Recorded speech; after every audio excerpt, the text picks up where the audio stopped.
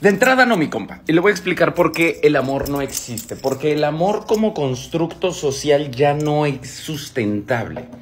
Es decir, que podemos hablar horas sobre qué es el amor, sobre qué es esa sensación, pero al final del día como constructo social, como acuerdo social, no podemos fundamentar cosas en eso. Es decir, tú no puedes fundamentar legalmente un matrimonio sobre el amor.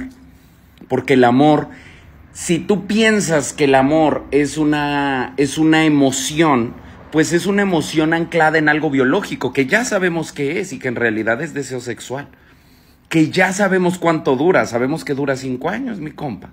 Entonces, pues el amor eterno no existe. Puedes sentir afecto por alguien, sí. El amor propio existe, por ejemplo. ¿A qué se refiere con el amor existe y a qué quiere llegar? Es la pregunta real.